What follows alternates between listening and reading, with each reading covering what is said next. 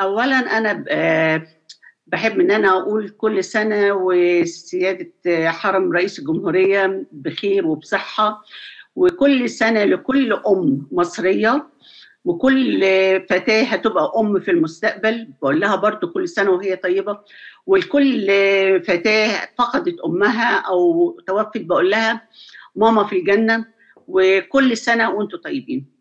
بالنسبة لحضرتك الموضوع ده الأم المصرية يعني بتتحمل أشياء كثيرة جدا.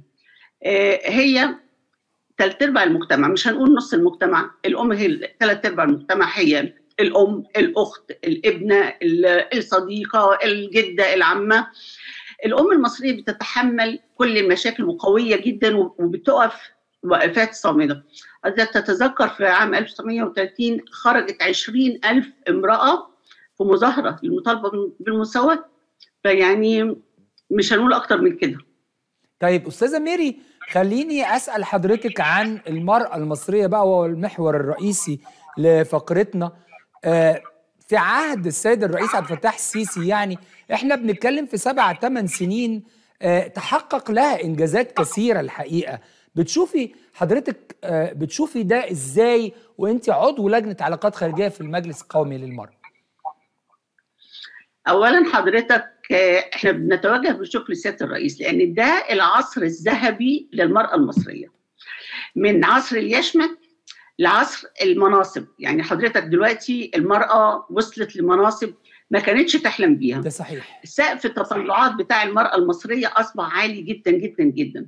المرأة أصبحت آه، لأول مرة قاضي أصبحت آه، نائب لرئيس الجمهورية في الأمن القومي أصبحت نائب لرئيس البنك المركزي أصبحت محافظ عدد محافظ كتير.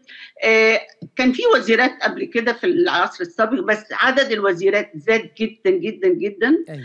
آه، أصبحت برضو نائب نائب لرئيس الوزراء نائب للمحافظ آه، في ال- المجالس القومية. المرأة المعاقة دخلت في المجلس القومي للمرأة. في قوانين اتغيرت في أكثر من 20 قانون آه، وبند اتغيروا. آه، ل- لتمكين المرأة و- وحفظ حقوقها. دي حاجات كتير أنا يعني لو قعدت أتكلم فيها عايزين برنامج وزيادة. آه، بالنسبة لل للمطلقه حضانة الأطفال موضوع الختان موضوع ال- التمكين حاجات كتير قوي اتغيرت في عصر سياده الرئيس. آم، في في الخارج برضه مسكت مسكنا مناصب كبيرة. ال- الغاده مسكت منصب برضه في الأمم المتحدة. في أيوه. حاجات كتيرة جدا حصلت حصلت في عهد سيادة الرئيس ده العصر الذهبي. للمرأة المصرية. وكمان عايزة أقول لحضرتك حاجة الدول العربية ابتدت برضو تبص لمصر وتشوف إحنا بنعمل إيه. وابتدوا يغيروا القوانين بتاعتهم ابتدوا يبصوا للمرأة بنظرة أخرى. يعني. آه، مش يعني عايزه أقول مثال مثلا السعودية بقت المرأة بتسوق البلاد الثانية عدد السيدات في البرلمان زاد جدا.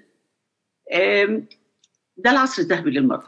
أصبحت لو اتكلمنا عنه برضه هنقعد نعدد حاجات كتيرة جدا. أصبحت كمان وكيل مجلس الشيوخ السيدة فيبي وصفي جرجس وأصبحت عميدة لكليات أفتكر لم تطأها من قبل امرأة في منصب العمادة زي آه، طب القاهرة مثلا و و ودي برضو أماكن مهمة. بالظبط بالظبط.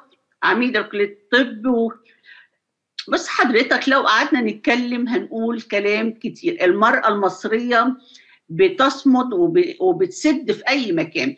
سقف تطلعات المرأة المصرية دلوقتي بقى عالي جدا جدا. يعني لو أي امرأة نفسها إنها تبقى يعني هي وصلت وزيرة ووصلت آه، نائب رئيس الوزراء آه، أنا متخيلة برضو إنها لو فكرت إنها ترشح نفسها للرئاسة. ممكن. يعني مش هيبقى برضو بعيد.